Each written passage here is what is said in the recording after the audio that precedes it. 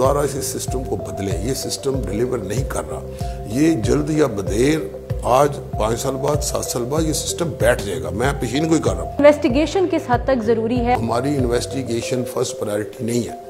हम हमारा first priority law and order है। What is the reason behind this backlog and delay कब उसमें गवाह ने नहीं आना कब गवाह आने हैं तो जिरा नहीं होनी कब उसमें डॉक्यूमेंट्री एविडेंस के तरीके पढ़नी है। वकील भी जिम्मेदार हैं। डिले करने में ज़ाहिर है। कोर्ट्स भी हैं अदालतें भी उस तरीके से ज़्यादा ओवर बर्डन है।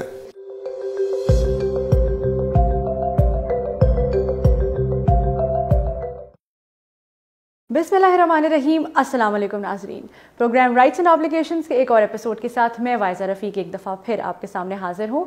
पिछले एपिसोड में हमने बात की थी आबिद हुसैन कुरैशी साहब से और क्योंकि उनका एक्सपीरियंस माशाल्लाह इस कदर वास्ट था और इस कदर डाइवर्स भी था in the sense of serving a different station as district and sessions जज और फिर थ्रू आउट जुडिशरी में।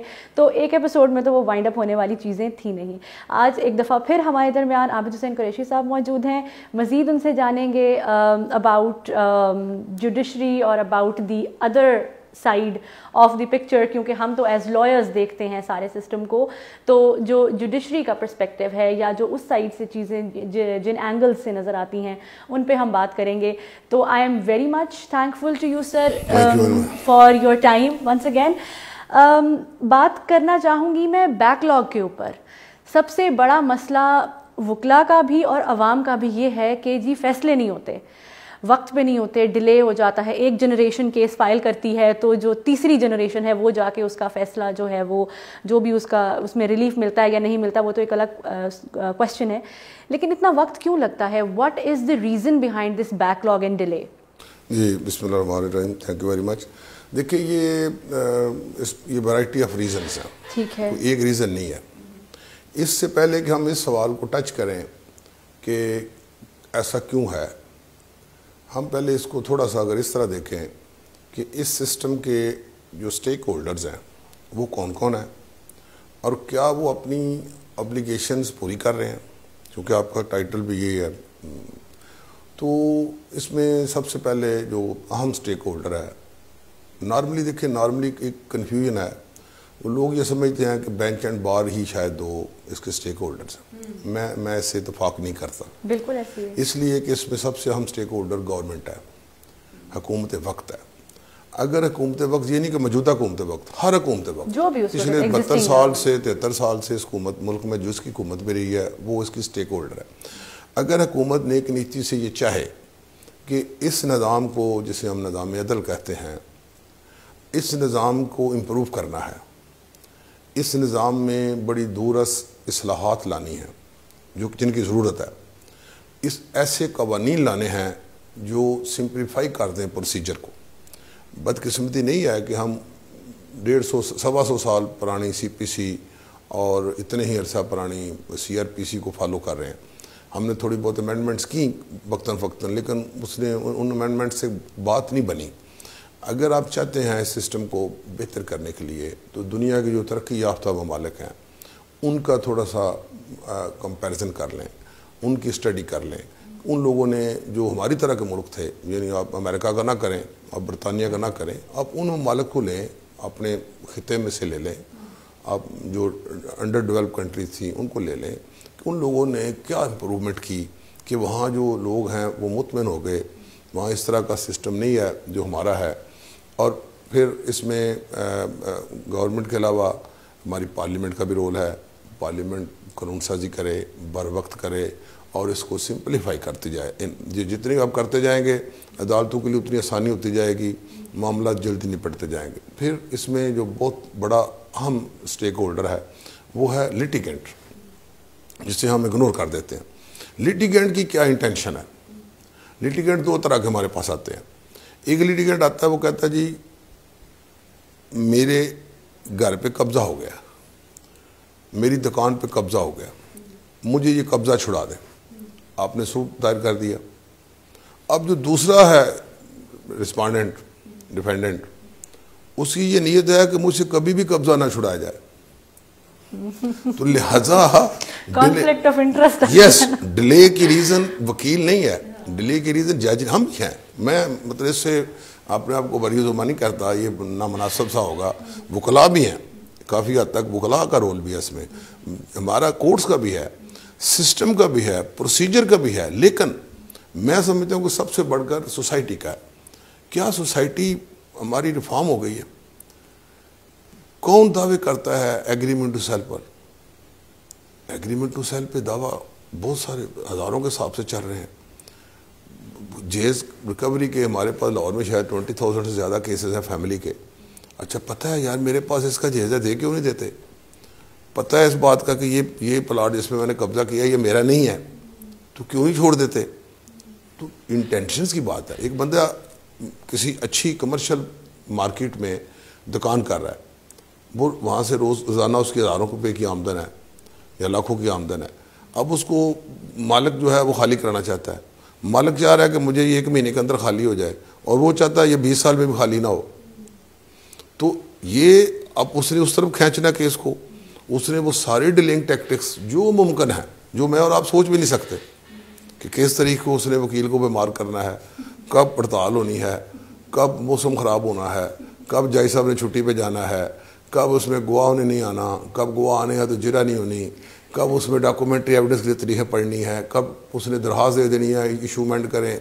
वो मैंड हो गए उसने कहा जी छः सत्रह की दरख्वास्त आ गई प्रीडिंग में फलां नक्स रह गया। वो आ गई तो फिर तकर्री कमीशन की आ गई वो ख़त्म हुई तो फिर एडिशनल एविडेंस की आ गई। वो अब ये ये एक लामतना सिलसिला है। लिहाजा इसमें सिर्फ़ हम अगर किसी एक फ्री को पकड़ लें मैं कहूँगा नहीं वकील नहीं नहीं वकील भी होंगे। यकीनन मैं बार बार कह रहा हूँ कि मैं खुद भी वकील हूँ। अब वकील भी जिम्मेदार हैं, डिले करने में ज़ाहिर है। कोर्ट्स भी हैं, अदालतें भी उस तरीके से ज़ाहिर ओवर बर्डन है।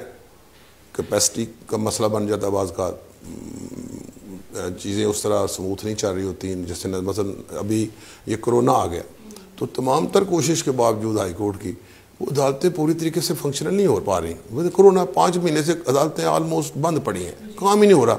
अब ये ये ये इसमें किसी का फॉल्ट नहीं है। ये नेचुरल सा हुआ अच्छा फिर इलेक्शन ड्यूटी लग जाती है। हर तीन चार साल बाद असेंबलियाँ टूट जाती हैं इलेक्शन आ जाता है। अदलिया इलेक्शन कराए। वही अदलिया क्यों कराए? सारी ज़िम्मेदारी अदलिया पे डाल देते हैं। बाद में अदलिया ने ये किया। ना मैं तो हमेशा मैंने तो लिख कर भी कहता रहूँगा ये किसी और बड़े अदारे पड़े हुए हैं। इसलिए कि जब इलेक्शन ड्यूटी शुरू होती है तो दो से तीन महीने हमारा काम बंद हो जाता है। तमाम केसेस रुक जाते हैं। कोई एविडेंस लिखी जाती कोई सोए बेल एप्लीकेशन के अर्जेंट के चंद एक। काम ख़त्म हो जाता। लिहाजा वो भी एक फॉल्ट फैक्टर आ जाता है। फिर वही बात है कि जो जो बंदा प्रॉफिट ले रहा है फ़ायदा ले रहा है। तो मेरे पास ऐसी बेशुमार बतौर डिस्ट्रिक्ट जज मुझे बड़ा दुख होता था कि ऐसी विडोज़ पेश होती थी जो ये कहती थी कि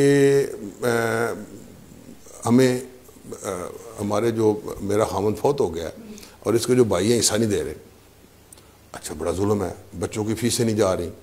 अब वो क्यों नहीं दे रहे? वो काबज हैं। बंदा मर गया तो बेचारे बेटों को तो उन्होंने उस उस उस बिल्डिंग में दाखिल भी नहीं होने देना। तो ये वो चीज़ें हैं, अब जिसका जो कब्ज़ा, जो दुकानों का किराया ले रहा है, जो उस प्लाजे का किराया ले रहा है, जो उस प्रॉपर्टी, ज़मीन, एग्रीकल्चर का जो प्रोड्यूस खा रहा है, उसका तो दिल करेगा कि यार ये सिस्टम ऐसे बड़े मज़ेदार है। ठीक है अच्छा फिर वो कभी वकील बदल लेगा।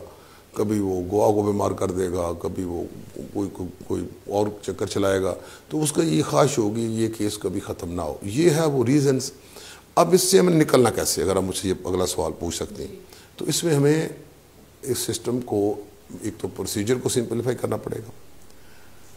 हम लोगों की नीति तो नहीं बदल सकते। हम कौम को रिफॉर्म तो मैं रिफॉर्मर तो नहीं हूँ। हम तो कोई लीडर करे रिफॉर्म कर दे इस कौम को अल्लाह करे अल्लाह ताला मेहरबानी फरमाए। हमारे पास जो गिवन सर्कमस्टांसिस में जो चीज़ें हैं हमने उसको बेहतर करना है। सिंप्लीफाई करें प्रोसीजर को। बहुत ज़रूरी है। ये ये जो पेशी दर पेशी वाला सिलसिला अभी सुप्रीम ऑनरेबल सुप्रीम कोर्ट ने जजमेंट दी है दो हज़ार बीस में पेज तीन थ्री हंड्रेड अस्सी एम आर उसमें कहा कि ये जो है ना आखिरी मौका कतई मौका और फिर आखिरी मौका। ये बंद करें ये क्या है? तो बहुत दैट्स वंडरफुल जजमेंट ये हाँ बहुत पहले हम हम एक्सपेक्ट कर रहे थे इस तरह की जजमेंट आया था कि थोड़ा सा जजेस तगड़े हों और वो उसको इस्तेमाल करें। तो ये ये ये कहीं ख़त्म करे सिलसिला। ये फिर फिर लिखा जाता है आखिरी मौका फिर लिखा जाता है आखिरी आखिरी। कतई फिर लिखा जाता है खत्मी आखिरी। फिर कतई कतई आखिरी। वो जितनी डिक्शनरी है उर्दू की वो सारी ख़त्म हो जाती है। ठीक है वो काम नहीं चलता। अच्छा इसी तरह आउट ऑफ़ बॉक्स जाएँ थोड़ा सा। मैं अभी अपनी वो याददाश्तें लिख रहा था तो मैंने उसमें कुछ आखिरी जो, जो लास्ट जाए शाया हुई तो मैंने उसमें लिखा कि हमें आउट ऑफ़ बॉक्स जाना पड़ेगा। हमने लाहौर में 2017 में सैद मंसूर अली शाह साहब के ज़माने में ही चीफ जस्टिस तो हमने मीडिएशन सेंटर बनाए थे। लाहौर से स्टार्ट लिया था। फिर ये आहिस्ता आहिस्ता पूरे पंजाब में इसको रेप्लिका हुआ और बड़ा बड़े ही अच्छे रिज़ल्ट आए। अनफॉर्चुनेटली हम फिर उसे कंटिन्यू ना कर सके, किसी वजह से ना कर सके। इस तरह हमें उन, उनकी ज़रूरत है।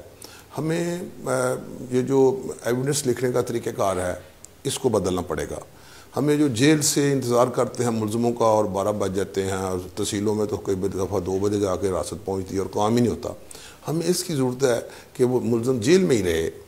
जेल में बैठ कर उस पर जो, वो उसकी अटेंडेंस हो वो स्काइप के ज़रिए हो जाए, वो वेबिनार के हो जाए, वो सारी प्रोसीडिंग वहाँ वाच कर रहा हो। और जो भी गवाह होने हैं, फिर लोग एविडेंस देने नहीं आते। लोग डरते हैं। हमारा सिस्टम उनको तहफ़ नहीं देता। जो असल मौके के गवाह होते हैं, किसी वकूआ के, वो पेश नहीं होते। वो लोग देखते हैं, वो कानों को हाथ लगाते हो हो बड़ा जुल्म हुआ, गुजरते जाते हैं गुजर जो उसने, जो जो गवाह आता है, उसने मौका देखा नहीं होता। फिर वो एक कॉम्प्लिकेशन हो जाती है। इसमें फिर आगे बड़ी इसकी बातें हैं कि जब झूठा गुआ आएगा जब जाओ ऐसा गुआ जिसने वकूआ देखा रही है तो वाक्य तो सच्चा होता है। Occurrence is true correct but the witnesses are not true they are for they are been planted वो लाए गए हैं क्योंकि असल वो बंदा अब छात्र तो देने को तैयार कौन नहीं है। क्यों नहीं देने को तैयार? हम गुआओं को ना अदालत में इज़्ज़त देते हैं। न थाने में देते हाँ, हैं। ये विटनेस की जो हम हम उसकी उसकी तजलील करते हैं। वो कई तरीकों पे आता होगा तो यार मैं अपनी दिहाड़ी छोड़ कर आता हूँ मैं अपनी नौकरी से छुट्टी लेकर मैं कितनी दफ़ा हूँ? मुझे तो इतने साल हो गए आते हुए। वो चला जाता है छोड़ जाता है आना। लिहाजा लोग अब ये हुआ फिर करीबी रिश्तेदार गोवा बढ़ने शुरू हो गए। अब उस पर फिर आ गया कि जनाब ये आर केस में करीबी रिश्तेदार क्यों आ जाते हैं? अब क्या करें लोग? एक एक वाक्य हुआ है मर्डर हो गया। तो लोग कहाँ से गोवा लाएँ? तो ये ये लंबा फिक्रिया है सिस्टम के लिए कि उस क्या मुमकिन नहीं है। मतलब मैं आपके प्रोग्राम के साथ से कह रहा हूँ क्या मुमकिन नहीं है कि कुछ मुल्कों में ऐसा भी हो रहा है कि गोवा को कंसील किया जाता है। कहाँ ज़रूरी है कि गोवा को सामने खड़ा करके वो उस पर वो कराते हैं जी, कसम ने यहाँ पे फैसला बताओ भाई, तुमने देखा नहीं। क्या क्या ज़रूरी है कि हम उस गोवा को कंसील करें, बचाएँ? और उसको अदालत में भी पेशी से बचाएँ? उसको हम किसी ऐसी जगह पे खड़ा करके उसका बयान लिखें स्काइप पे लिखें, जहाँ वो अपने आप को सेफ़ महसूस करें। कोर्ट से जाते हुए बेशुमार को कत्ल हो जाते हैं, आते हुए कत्ल हो जाते हैं। हर आदमी डरता है, ये खजल खारी से डरता है। तो हमें ये ये चीज़ें कुछ आउट ऑफ़ बॉक्स जाना पड़ेगा। सीआरपीसी को सीपीसी को इमेंड करना पड़ेगा इस तरीके से कि चीज़ें आगे चलें। जितने हमने इसमें रखे हुए हैं ना प्रोसीजर में जितनी चीज़ें रखी हुई हैं वो मैंने प्रोसीजर को मैंने बड़े गौर से देखा है कि मैं बल्कि ये कहता हूँ आपको कभी मज़ाक में अदालत में बैठ कहता था कि यार जिस वकील को सीपीसी आती है ना अगर उसने पूरी पढ़ी है सही वो केस का फैसला नहीं होने देगा। ये इसलिए हो रहे हैं कि लोगों ने पढ़ी नहीं हुई। ये यकीन करें हाँ ये इसमें इतने कमाल के बेहद दरखास्तें ओहो इसमें इतनी गुंजाइश है इसी मजमून वो कर बिल्कुल बिल्कुल इसी तरह से है। सर, एक बहुत बड़ा कंसर्न जो है वो पुलिस के पार्ट पे भी आता है। From the judicial side as well as from the legal fraternity के जी इन्वेस्टिगेशन में ही केस जो है वो काफ़ी हद तक उसमें इश्यूज़ होते हैं और केस ख़राब होकर हमारे पास आते हैं उनके अल्फाज में ना। तो इस बारे में आप क्या कहेंगे? Because you have serve yourself session जज तो इन्वेस्टिगेशन किस हद तक ज़रूरी है? और क्या ये भी एक इंपॉर्टेंट रीज़न है कि रिलीफ देना या जस्टिस इम्पार्ट करना एक बहुत बड़ा चैलेंज बन जाता है? देखिए ये बहुत अहम सवाल है। बदकिस्मती से जिस तरह बाकी मैंने इसमें डिमेरिट्स कुछ चीज़ें पॉइंट आउट की हैं कुछ फ्लास सिस्टम के अंदर जी, कुछ जी, जी. हमारी तरफ़ कुछ बार की तरफ़ कुछ पब्लिक की तरफ़ कुछ प्रोसीजर की तरफ़। इसमें इसी तरह पुलिस का भी एक बहुत बड़ा रोल है। और हो ये रहा है कि कोशिश पुलिस डिपार्टमेंट कर रहा है। कई सालों से मैं भी देख रहा हूँ मुख्तु जिलों में सेस जज रहा हूँ। कई ट्रेनिंग कई कोर्सेज इनके इन्वेस्टिगेटर्स के ये कोई रिज़ल्ट नहीं आ रहा। मसलन जो बुनियादी बात है ना जो जो अभी तक समझ नहीं आई किसी को भी कर रहे हैं वो लेकिन समझ नहीं आ रहे समझ नहीं रहे उस उसकी इंपॉर्टेंस मतलब वो है सबसे पहले जो पूरी दुनिया में जो क्राइम होता है उसकी फ्रेंसिक एविडेंस जो है उसको प्रिजर्व किया जाता है। हम यहाँ बैठे हैं ना मैंने ये यहाँ हाथ लगाया ये मेरे मेरे प्रिंट्स आ गए हैं। ये आप कोई भी चाहे, मेरे, ये मेरे मेरे हाथ का मैं बैठा हूँ कुर्सी पर, मेरा ये इस पर प्रिंट आ गया है, मैंने यहाँ हाथ रखा है, मेरा प्रिंट आ गया है। ये ये ये है वो फोरेंसिक एविडेंस हमारे यहाँ दो तरह का प्रॉब्लम है। एक मैंने ये देखा कि हमारे यहाँ को वाक़ हो गया डिकेटी हो गई। लोग मल्लेदार, करीबी गुजरने वाले राहगीर एक तमाशबीन का एक वो सबर आता है अनफॉर्चुनेटली वो अंदर दाखिल हो गए। अच्छा हो क्यों है जी इधर से उठाई चीज़? इधर फेंकी। अच्छा पुलिस के आने तक वो हर एविडेंस को ज़ाय कर देते। अच्छा ये एक पहलू।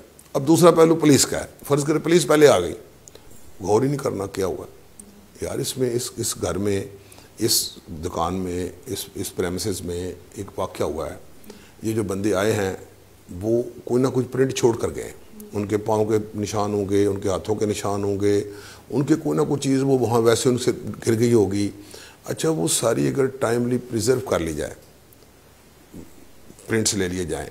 अब अब नादरा में एक मिनट में आप प्रिंट लेकर बंदे का पता चला जाते हो कि ये बंदा कौन है। एक मिनट लगता जस्ट सिंपली आपने देना है और रिज़ल्ट आ जाना कि ये फला बंदा है। पूरा रिज़ल्ट आ जाए। अगर आप उस तरीके से इसको साइंटिफिक कर लें, इस इस इस इन्वेस्टिगेशन का ये जो पुराना तरीका है ना, ये छोड़ना पड़ेगा। वो दफ्तर में बैठकर एक सौ इकसठ के बयान लिखे जा रहे हैं, वो वो वो ना कभी गोवा पेश हुआ, यकीन करें, वो खुद ही लिख लेते एक सौ कार्ड का, मुझे पता है। अच्छा जो, जिसको फायर लग गया है, वो अस्पताल में पड़ा है, उसका बयान लिखा जाता। अब जब वो बेल होती है, वो कहते सर, इसका तो बयान ही नहीं हुआ। लो जिसका होना चाहिए, उसका नहीं होता, जिसका नहीं होना चाहिए, उसका हो जाता है। इस तरह कभी मैंने, बहुत रेयर कभी, अभी इतनी अच्छी हमारे पास ये लैब है, ठोकर वाली है। ये इसमें हर चीज़, आप हर चीज़ का एनालिसिस कर सकते हैं। डीएनए। बस मैं एक जगह पे सेशन जाई था, लोधरा में। तो वहाँ हमने महसूस किया क्रिमिनल जस्टिस कमेटी की मीटिंग में, कि ये जो है ना, यहाँ रेप के केसेस बहुत ज़्यादा हैं। तो मैंने डी को कहा डी बड़ा अच्छा आदमी था, बड़ा जिम्मेदार आदमी। मैंने कहा कि क्या इज़ इट पॉसिबल कि ये इतने ज़्यादा रजिस्ट्रेशन ऑफ़ केसेस है, और ये क्या सारे सच्चे हो सका नहीं सर सच्चे नहीं है, बहुत सारे झूठे केस हैं। तो मैं क्या हम डीएनए लाजमी कर दें पर्चा दर्ज हो जाए डीएनए कर दें अरेस्ट डेफर कर दें, गिरफ्तारी ना करें। अगर डीएनए रिपोर्ट पॉजिटिव आए तो अरेस्ट कर लें। ना को कोर्ट बेल लेगी ऑटोमेटिकली बेलें खारिज होनी शुरू हो जाएँगी। और ट्रेंड कम हो जाएगा आप यकीन करेंगे कि तीन माह बाद हमने दोबारा उसको रिव्यू किया सारी बात को तो more than sixty seventy percent cases registration कम हो गए। एकदम वो जितने फेक केस खत्म हो गए, उनको यार ये तो ये तो डीएनए कराने लग पड़े। तो वो जो ट्रेंड था कि जी हमने हर सूरत में बंदे को पसाना है और हमने ये करना, वो ख़त्म हो गया। लिहाजा ये बहुत सारी चीज़ें आप साइंटिफिक जो इस मौजूदा है, जो हमारे पास ऐसी टेक्नोलॉजी आ गई, मैं इसको टेक्नोलॉजी का इस्तेमाल करें। और इसमें बेस्ट जो है वो फ्रेंसिक के लिए, और मैं एक और तजवीज़ दूँ अगर आपको मतलब मैंने देखा कि ये जो सिस्टम हमारा ना इन्वेस्टिगेशन का, ये डिफेक्टिव क्यों है? ये इसलिए डिफेक्टिव है कि एक एस एच ओ एक ज़िले, एक थाने में लगा होता है। वो बड़ा बाख्तियार होता है, बड़ा टोटप्पा होता है एकदम उसको वहाँ से उठाया जाता है, उसको इन्वेस्टिगेशन विंग में भेजा जाता है। वो समझता मुझे सज़ा मिली। ये ना करें। पढ़े लिखे लड़के लें, पुलिस में। साइंस स्टूडेंट्स हों एमएससी की हो, बाहर से पढ़े हों, अच्छी सैलरी पे लें। उनको जो मर्ज़ी होता दे, मुझे नहीं पता। हमने सिस्टम ठीक करना। हर ज़िला में एक पूल बनाए। हर ज़िला। पचास आदमी हर ज़िला में आप एक इन्वेस्टिगेटिंग टीम तैयार करते हैं। उनकी पूरी, उनका कोई तलक नहीं है थाने के साथ। उनका कोई तलक नहीं है लॉ एंड ऑर्डर के साथ। वो एक हॉलनुमा कमरा देते हैं वो वहाँ बैठे हुए हैं। अपनी अपनी फाइलें लेकर। द मोमेंट को अक्रेंस हुआ, कोई ऐसा चुना जाए, किसी को ज़रूरत नहीं है, वो जाएँ। उनके पास सारे ऑपरेटर्स हो, वो जाकर जो फोरेंसिक एविडेंस है कलेक्ट करें। उनमें से एक बंदे को तफ्तीश ना दें। कम अज़ कम तीन बंदों के एक, एक, एक टीम बनाएँ। तफ्तीश जो है ना ये अकेले बंदे का काम नहीं है। अकेले बंदे का दिमाग उधर नहीं जाता। दूसरा कदर नहीं ठहर उठा यार मेरा ख्याल है ये मोबाइल कॉल जो आई है ना इस, इस, इसकी कोई रेलिवेंसी है। तीसरा कदर नहीं ठहरो मैं बताता हूँ। अच्छा ये जब दिमाग दो तीन इकट्ठे मिलते हैं तो फिर उसमें रिज़ल्ट बेहतर आना शुरू होता है। टीम यानी जॉइंट एक इन्वेस्टिगेशन टीम ऑलरेडी हो। किसी को ना पता हो कि कौन से बंदे ने और उनका उनकी कोई कोई सबॉर्डिनेशन उनका एक सिस्टम बिल्कुल आता उनका कोई तलक नहीं है कि इनका इनका तबादला किसी M P M N A के कहने पर हो जाएगा। या इस यहाँ इस इस इस इस प्रेमिस में कोई सियासी आदमी या गैर सियासी आदमी या कोई दाखिल हो सकेगा। इस तरह का उसको बनाए। आउट ऑफ़ बाउंड एरिया हो वो तफ्तीश करें। और आप देखेंगे कि ऑल टुगेदर ये ये इसमें हमने बड़े साल ज़ाय कर दिए। मैं पूरे तजर्बे से बात कर रहा हूँ हम जिस सिस्टम को चला रहे हैं ये कभी ठीक नहीं होगा। मैं दावे से कह रहा हूँ किसी को अच्छा लगे। किसी को बुरा लगे। ये कुछ कर लें। ये सिस्टम ने ठीक नहीं होना, इसलिए कि हम, हमारी इन्वेस्टिगेशन फ़र्स्ट प्रायोरिटी नहीं है। हम, हमारा first priority law and order है। हम अच्छे लोग एस एच ओ लगाते हैं। हम एनर्जेटिक लोग वाइब्रेंट लोग ऑपरेशन में ले जाते हैं। हम थके लोग, कमज़ोर लोग, उनको इन्वेस्टिगेशन में भेज देते हैं। अच्छा उनकी दिल से गोई और रिटायर होने वाले होते हैं। यो कहते हैं यार, मुझे तो सजा मिली है, मैंने क्या करना है? नहीं। हम, ये ये सिस्टम गलत है। हम नई, नए लोग लाएँ। पढ़े लिखे लोग लाएँ। उनको मैं नहीं समझ रहा क्या अहदा दे रहा जो मर्ज़ी दे दें। वो वर्दी पहने, ना पहने, उनको तनहा मकूल दें। अच्छे से पे स्केल दें। इतनी ज़्यादा तनहा दें कि वो कोई बंदा उनकी तरफ़ अब देखें जुल्म क्या है? सोसाइटी का जुल्म क्या है? सोसाइटी का अलमिया ये है कि एक मर्डर केस की इन्वेस्टिगेशन एक सब इंस्पेक्टर कर रहा है। उसकी तनख्वाह चालीस हज़ार रुपया, पचास हज़ार रुपया। तफ्तीश वो कर रहा है करोड़ों अरबों रुपए के मामले की जिसमें बंदा लुट गया कत्ल हो गया। इस तरह वो बहुत इसमें बहुत बड़ी किसी वो प्रॉपर्टी का केस सुन रहा है। नहीं ये गलत है सारा। आप इसको चेंज करें आप तफ्तीश को होल टाइम एक एक शोबा दें। आपके पास बड़े अच्छे इनके पास बड़े अच्छे मैंने बहुत सारे ज़िलों में सर्विस की है बहुत अच्छे पीएसपी इनके पास अफसर हैं। दूसरे भी हैं जो हमारे डी पी ओज़ हैं आर पी ओज़ हैं। मैंने बहुत अच्छे मैं नाम भी बता सकता हूँ। आप उनका एक पैनल बनाएँ। उनको वो लोग जो प्रेशर झील सकते हैं, उनको निकालें। आठ दस अच्छे competent officer R P O D I G rank के डी पी ओ रैंक के S S S P rank के, उनको उस उस सेल में ले जाएँ। और उनको यंग लोग यूनिवर्सिटियों से ताज़ा, बाहर से लोग बड़े पढ़ कर आए हैं हमारे पास। हमारे पास पीएचडी लोग बड़े हैं। इस तरह के लोग, इसमें तो पीएचडी बंदा बैठाएँ। वो तो बताए ये इसकी बैकग्राउंड क्या है? ये जुर्म कैसे सरजद हुआ है? उसको पता हो आई क्या है? ये ये अब बहुत सारे जुर्म जो है वो इस सेल की वजह से हो रहे हैं और बहुत से मुजरम इस सेल की वजह से पकड़े जा रहे हैं। ये कोना को हम यहाँ बैठे हैं हम इस वक्त जैसे आपके आप, आपके यहाँ चैनल में बैठे हैं। तो मे, मेरा ये सेल पड़ा है। तो मेरी प्रेजेंस यहाँ शो हो रही है। हम्म, हाँ, बिल्कुल कितनी अहम बात है। बिल्कुल। ये ये एक आधे घंटे का काम है। कि अगर मुझे कोई ये कहे कि आप साढ़े दस बजे कहाँ थे, और मैं कहूँ कि नहीं, मैं तो हाईकोर्ट में था नहीं, इन्हों कहते नहीं, जनाब तो फलां चैनल में, जस्ट वन में बैठे हुए थे। ये आपका मोबाइल वहाँ की लोग ये है। ये जब पकड़ना आ जाए, और इसमें एक पूरा, ये ये सिस्टम मैं, बतौर सिटीज़न और वकील के भी, और रिटायर्ड जज के भी, अब ये हम अपील ही कर सकते हैं कि ये खुदा रहा इस सिस्टम को बदलें। ये सिस्टम डिलीवर नहीं कर रहा। ये जल्द या बदेर आज पाँच साल बाद सात साल बाद ये सिस्टम बैठ जाएगा। मैं पेशीन को ही कर रहा हूँ। ये सिस्टम नहीं चलेगा। इसमें बार को भी सोचना पड़ेगा कि क्या ये सिस्टम आगे चलना है। तो इसके लिए हमें क्या बार का क्या रोल है? इसमें जुडिशरी को भी सोचना पड़ेगा कि ये सिस्टम आगे चलाना है। तो क्या इस इसको खींच के ये ये हमें मैं तो कहता था हम हम थके आ रहे सिस्टम को खींच रहे हैं धक्का लगा रहे हैं। इस तरह नहीं होता कि बंदा पकड़ा गया। अब मैं जेलों में जाता रहा। मैं जेलों में यकीन कर विज़िट करता रहा बताओ डिस्ट्रिक्ट जज बेशुमार जेलों में सेशन जज मैंने देखी दस बारह जिलों में मुख्तलिफ़ ती, तीन तीन ज़िले में बाद जेलें थी एक ज़िलों में। तो मैंने ये देखा कि यार जो 220 ग्राम वाला 150 ग्राम वाला चर्स वाला वो 400 बंदा अंदर है। मैंने दो दो सौ बंदा भी इकट्ठे छोड़ा एक दिन में। यार क्या है? अच्छा जो जो बेचने वाले हैं वो बाहर हैं। वो बड़ी गाड़ियों में फिर रहे हैं। जो पीने वाला अंदर है। तो ये ये सिस्टम इस तरह नहीं चलता। ये सिस्टम मजीद रिव्यू करने की एंटायरली रिव्यू करने की इसको ज़रूरत है।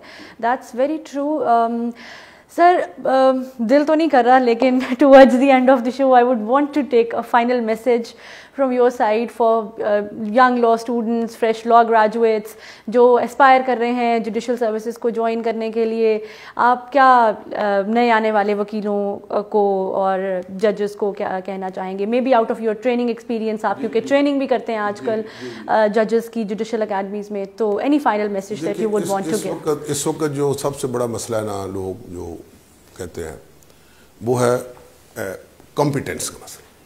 ठीक है। अहलियत का मसला। ये कॉम्पिटेंस एंड अहलियत कैलिबर मेरिट ये दो तरफा इशू है। ये सिर्फ़ अदलिया का इशू नहीं है ये बार का भी इशू है। बार में भी उस कैलिबर के लोग नहीं रहे और हमारी तरफ़ भी शायद नहीं रहे। मानना चाहिए ये बात मानने वाली है। अब इसको हमने इम्प्रूव करना है। मैंने पहले भी कहा था कि अगर को मुझे ये पूछे कि वकील किस तरह अच्छा वकील बनता है तो उसका एक जवाब जवाब था कि वो मेहनत करे। और फिर दूसरा जवाब भी है कि वो मेहनत करे और तीसरा भी यही होना चाहिए। अच्छा मेहनत करने के भी कई तरीके हैं। मसलन अभी आप अगर ये पूछें कि ये लोग इम्तहान में आ रहे हैं तो इनसे मेरी गुजारिश है कि ये गाइडें पढ़ने के बजाय ये किताबें पढ़ें। ये जो पेपर आ रहे हैं, ये किताबों से आ रहे हैं। जिसने किताब पूरी पढ़ी है, ठीक पढ़ी है, वो पेपर बहुत अच्छा कर जाएगा। क्योंकि उसे पता है कि ये सवाल, ये फलां फलां सवाल बहुत छोटा होगा होगा किताब से। हम वो उसको गाइड से ढूंढ रहे होंगे गाइड से वो किताब वो जवाब नहीं मिलता। ठीक है? नंबर एक तो अपनी इंग्लिश इम्प्रूव करें। ठीक है? सीखें। बात नहीं समझ आ रही सीनियर से पूछें बार बार पूछें कि ये ये मैंने मतलब क्या है? आ, मुझे समझ नहीं आ रही क्या इसमें क्रिम इसमें रवीन लाई करती है अपील लाई करती है मैंने दायर करनी है गलत ना दायर कर पाऊँ बजाय इसके कि वो जज साहब वहाँ कहें कि आपने ये क्या दायर किया? तो उससे बहुत बेहतर नहीं है कि आप किसी सीनियर कुलीग के चैम्बर में चले जाएँ कि सर ये मेरे पास केस आया है मुझे गाइड कर दें कि इसमें मैंने अपील करनी है रिवीन करनी है रिट करनी है रिव्यू क्या करना है? लाइक अच्छा आप प्रॉपर गाइड वो आपको या फलां जाकर पढ़ो। ठीक है आप पढ़ेंगे आपकी इंप्रूवमेंट हो जाएगी। अच्छा इसी तरह आप जो जजेस हमारे मैं उन मैं जो ट्रेनिंग जाता हूँ अकेडमी में भी जाता हूँ तो मैं उनसे भी ये कहता हूँ कि जो है ना थोड़ा इनोवेटिव होना वो तभी आप होंगे जब आप आपके पास नॉलेज होगा। तो नॉलेज बातों से नहीं आता। पढ़ने से आपको ये करने से पढ़ने से आता है। ओवर द ईयर आपने फाइलें देखी। आप फाइलों में अंदर देख रहे हैं पुरानी जजमेंट्स देख रहे हैं वो पढ़ रहे हैं आप साथ लॉ पढ़ रहे हैं आप साथ केस लॉ को देख रहे हैं।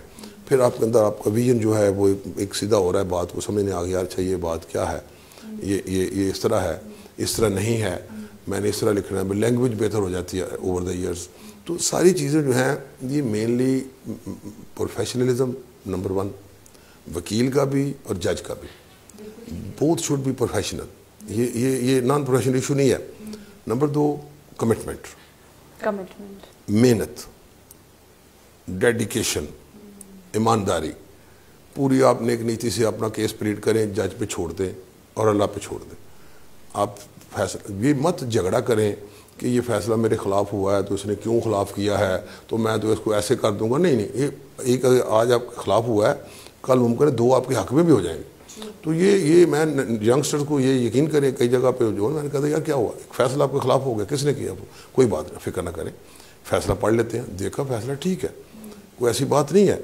अच्छा बात करें, फैसला गलत भी होता है। ये जय साहब ने माइंड सर अप्लाई नहीं किया, जिस तरीके से ये करना चाहिए था। लेकिन क्योंकि ह्यूमन एरर है, बात नीति नहीं है एक बंदा नहीं समझ सका लेकिन जजेस के लिए जो मैंने पहले भी थोड़ा सा कहा, दोबारा मैं यहाँ वाइंड अप करूँगा कि जो जजेस हैं, उनके उनके लिए, उनके पार्ट पे ज़्यादा ज़िम्मेदारी है।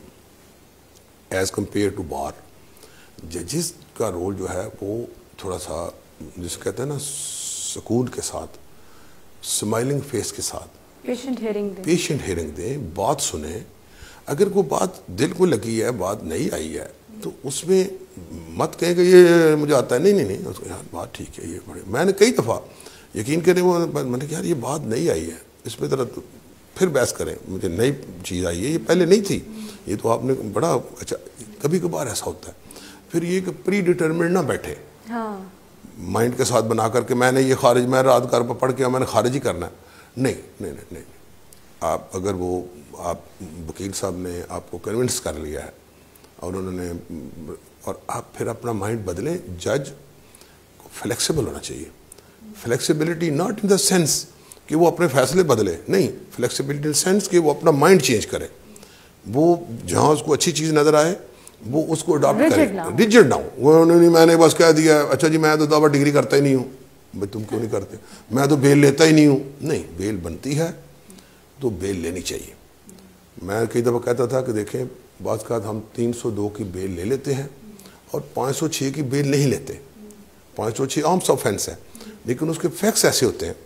जैसे मैं लाहौर में था तो एक मेरे पास केस आया 506 का केस था। तो मैंने 506 में प्री रेस्ट बेल है तो लेकिन जब वकील साहब ने कहा, सर, बात सुन ले ज़रा, सुनाओ। वह जी, ये जो मुलजम खड़ा है इसने अपने माँ और बाप को मारा है। ये माँ बाप खड़े हैं। बूढ़े आदमी घर से निकाल दिए मारकर। मैंने कहा बेल वाला केस नहीं मैंने कहा, इसको साथ ले जाओ। एक हफ़्ते का टाइम देता हूँ। माँ बाप को मना कर लाओ।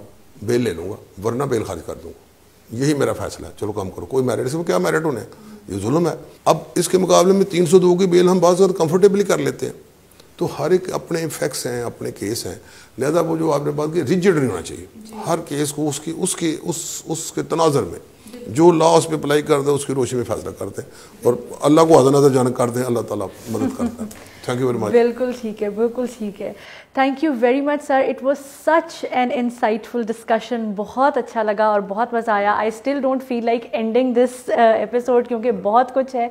It was such pleasure having you बहुत शुक्रिया आपका बहुत शुक्रिया मैंने खुद बड़ा लन किया और जब अपना मेरा मौका मिला एक अच्छे चैनल से ताकि हमारे जो यंगस्टर्स हैं लाइयर स्पेशली जजेस उनके लिए कोई अच्छा मैसेज आए। कोशिश की है जो अपने एक्सपीरियंस बेस पे सारी बातें तो ज़ाहिर मैं भी आम इंसान हूँ मुझमें भी बेशुमार ऐसे एरर्स होते हैं लेकिन कोशिश करते हैं कि जो चीज़ें हमने सीखी हैं उनको ट्रांसफ़र करें ट्रांसफ़र करें और, और उसके उसका कोई इम्पैक्ट आ जाए सोसाइटी बदल जाए चेंज हो जाए हम यही देखना चाहते हैं।